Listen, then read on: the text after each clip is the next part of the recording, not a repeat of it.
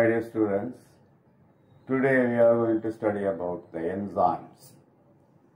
Enzymes are globular proteins. They catalyze many thousands of metabolic reactions which are taking place in the cells of the organism. So the enzymes are globular protein. They always carry out many metabolic reactions inside the cell. There are two types of enzymes. One is uh, extracellular enzyme and the second one is intracellular enzymes. Extracellular enzymes they are secreted inside the cell and exported externally outside of the cell and work outside of the cells.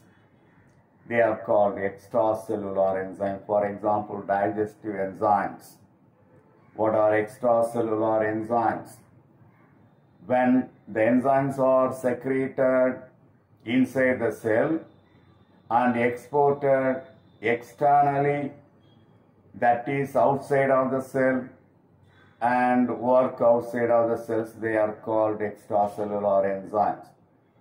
All the digestive enzymes are the example of extracellular enzymes. The second type is intracellular enzyme.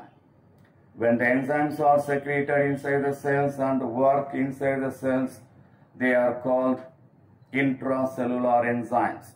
They are found inside the organelles or within the cells.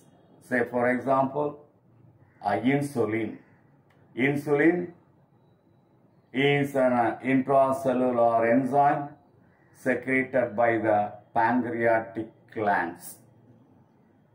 We are going to see now the properties of the enzymes. There are some properties given in the book, one by one we will see. All the enzymes are globular proteins, already we have seen that. They act as the catalyst. They are effective even in very small quantities. They remain unchanged at the end of the chemical reactions. They are highly specific. They have an active site where the reactions takes place.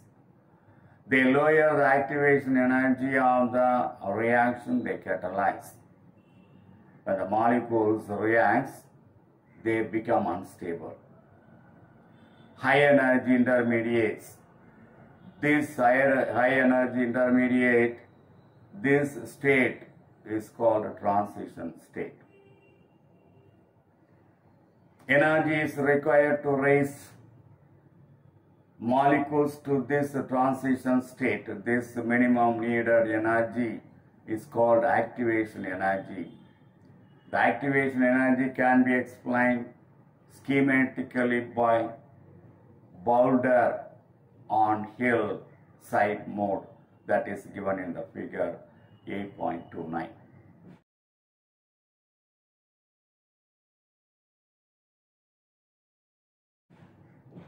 So these are all considered as the properties of the enzymes.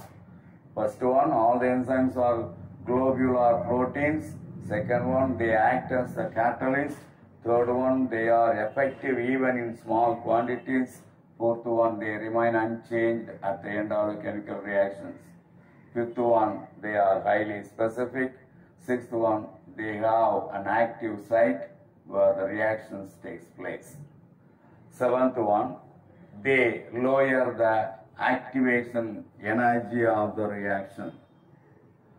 What is activation energy? When molecules react, they become unstable, high energy intermediates. This state is called a transition state. The energy is required to raise molecules to this transition state. That energy is called activation energy. This minimum energy is called activation energy. Activation energy is required for any chemical reaction. Activation energy can be explained schematically that is given in the figure 8.29.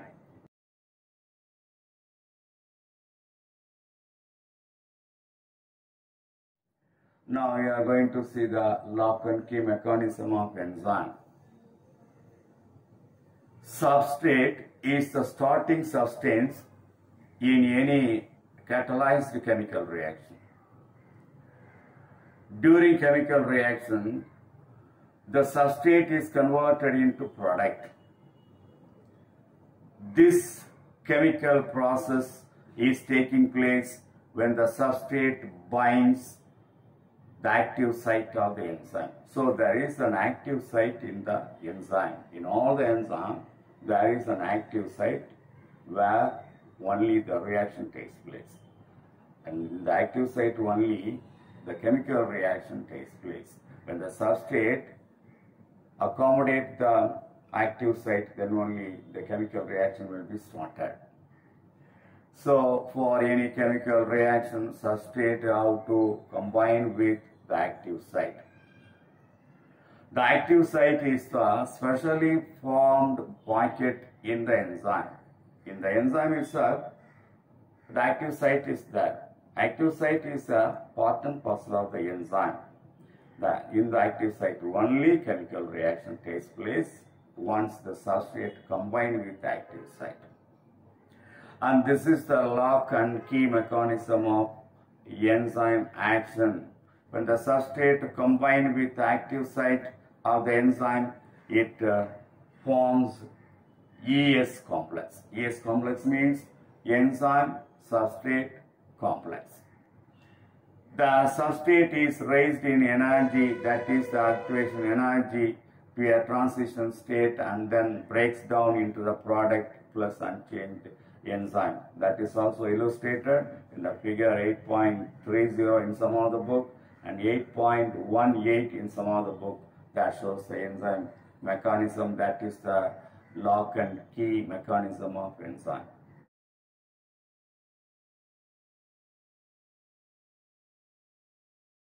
That's all.